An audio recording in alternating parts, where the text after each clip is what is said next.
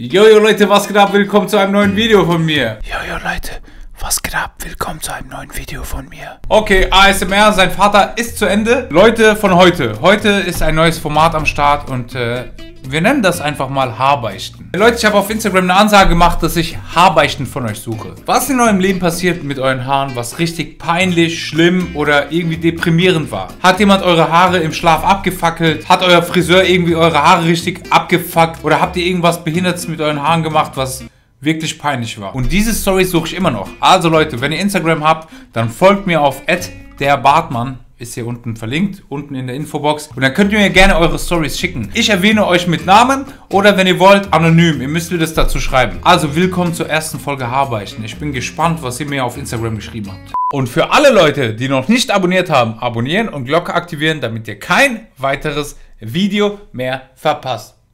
Kuss auf eure Nuss.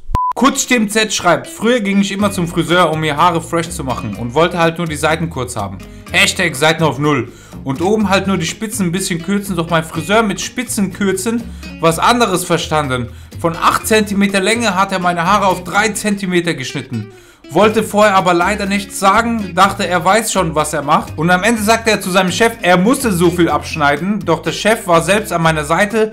Bezahlen musste ich natürlich nicht, Ehrenmann.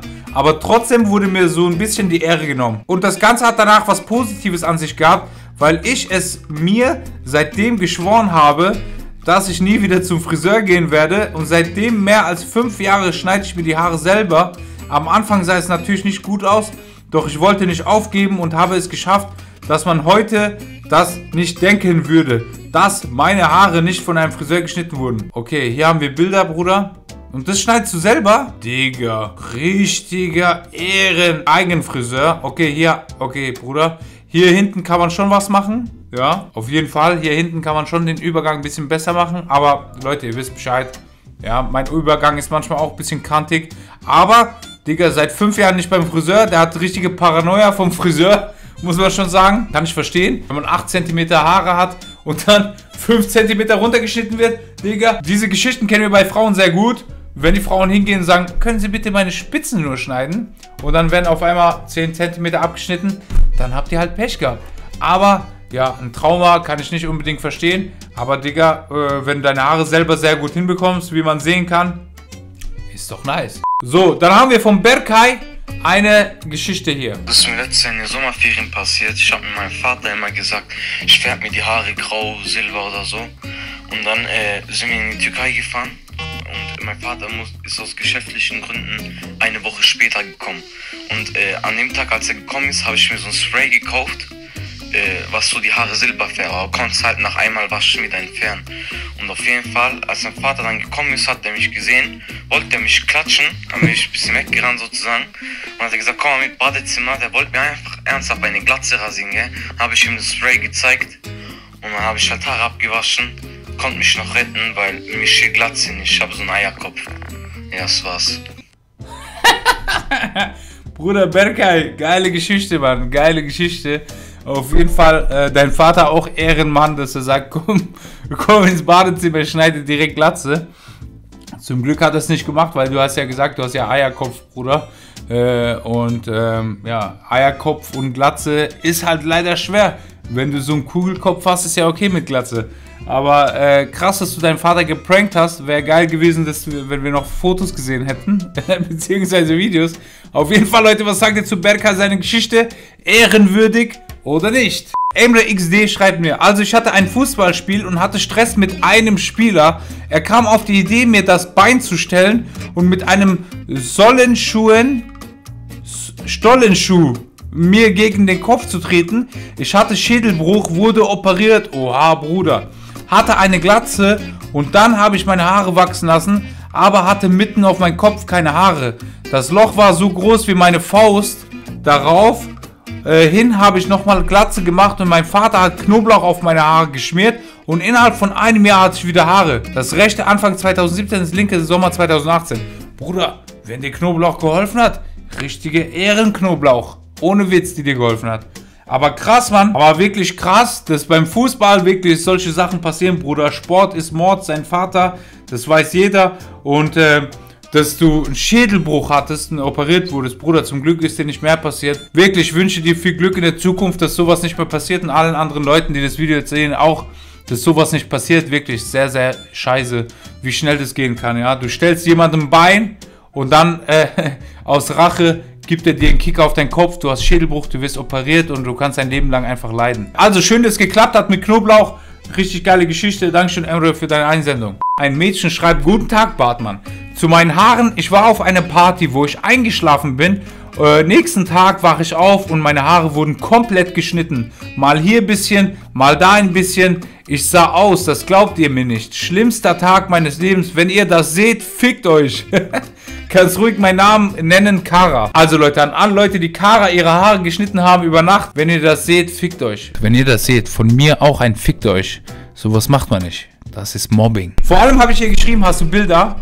Und sie hat geschrieben, leider nicht, war zu geschockt, habe sofort meine Friseurin angerufen, die das dann ordentlich geschnitten hat. Wäre sonst auch zur Polizei gegangen, zu spät darüber nachgedacht, war gedemütigt. Leute, ihr könnt doch nicht jemanden, der schläft, die Haare schneiden. Ihr könnt einen Penis ins Gesicht machen oder irgendwas, die Fingernägel lackieren. Aber Haare, bitte nicht, Leute. Bitte. B3NET52 schreibt, also, ich war letztens beim Friseur und da wollte ich Seiten auf Null. Null. Ehrenmann. Mit Linie oben. Alles lief gut, aber dann bei der Linie hat er mit dem Rasiermesser meine Kopfhaut aufgeschnitten. Aus Versehen. Bruder, der hat deine Kopfhaut aufgeschnitten. Oha, richtig skalpiert, ja. Das hat dann stark geblutet und der musste das desim desinfizieren. Nach 15 Minuten war ich dann fertig und musste nur die Hälfte bezahlen. Ich musste dafür den ganzen Tag mit einem Schnitt am Kopf durch die Gegend laufen und abends noch auf einen Geburtstag. Sorry für die Rechtschreibung, heiße Bennett. Bruder, du hast dich schon für die Rechtschreibung entschuldigt. Aber du musstest nur die Hälfte zahlen. Der hat komplett deinen ganzen Kopf aufgeschnitten. Und du musstest nur die Hälfte zahlen. Was ist das für ein Unehrenmann-Friseur, Digga? Kannst du mich im Video grüßen? Habe ich gemacht. Und schöne Grüße an die ganze Community. Wie geil hat er die Community geschrieben wieder. Auf jeden Fall muss ich sagen, Digga, da hättest du auf jeden Fall entweder Geld verlangen müssen, aber okay, das wäre auch richtig unehrenhaft. Aber hättest äh, sagen müssen, Digga, du hast meine Kopfhaut aufgeschnitten, was für Hälfte bezahlen? Ich zahle gar nichts. Ich zahle gar nichts. Malta Aviation schreibt, bei mir war es so, ich habe mit einem Feuerzeug gespielt und mit einer Gasflasche, also wo man die Feuerzeuge mit voll macht, also Butangas und so, ne? Und ich habe dann auf dem Boden ein Flecke Gas gemacht und dann angezündet. Und es gab so eine große Flamme, dass meine Augenbrauen weg waren. Oha, Bruder. Und meine Haare um 1 cm gekürzt waren. Okay, das ist jetzt nicht so schlimm. Äh, wir haben dann auch am selben Tag einen Friseurtermin gemacht. Auf der Friseur hat auch gelacht, aber ich auch. Ich hoffe, dass du liest das vor. Ich habe das vorgelesen, Bruder. Auf jeden Fall, schlimmste Augenbrauen weg. Bruder, guck mal, stell dir vor, ich ohne Augenbrauen. Guck mal. Bruder, das sieht ja richtig schlimm aus, oder? Was sagt ihr, Leute? ja, okay, Haare 1 cm gekürzt ist ja nicht schlimm, aber Augen ohne Augenbrauen ist auf jeden Fall äh, nicht so nice. Und an alle Leute, die keine Augenbrauen haben, sorry. Leute, ich habe richtig, richtig viele Stories gekriegt. Wenn man alle Stories durchgeht, das sind alle Stories von euch, die ihr mir geschickt habt. Ohne Witz. Warte, warum geht's nicht weiter? Jetzt.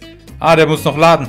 Das sind alle Stories, die ihr mir von euren Haarbeichten geschickt habt. Leute, ich will wissen, ob ihr Bock auf dieses Format habt. Wenn ihr Bock auf dieses Format habt, dann Like dieses Video. Bei 10.000 Likes gibt es die nächste Folge und die geht definitiv länger als diese Folge. Und ihr könnt mir wirklich gerne alle eure Stories auf Instagram schicken. Und der erste Link in meiner Infobox ist meine Instagram-Seite. Da könnt ihr mir alle eure Stories schicken. Schickt mir am besten sogar eure Bilder dazu, wenn ihr Bilder habt. Und ich bin sehr, sehr gespannt. Und äh, ihr könnt gerne dazu schreiben, ob ihr anonym sein wollt oder der Name erwähnt werden soll. Ich bin gespannt auf eure Haarbeichten. Das ist die erste Folge gewesen. Wenn ihr die zweite Folge wollt, wie gesagt, 10.000 Daumen nach oben. Ich bin sehr, sehr gespannt, ob ihr Bock darauf habt.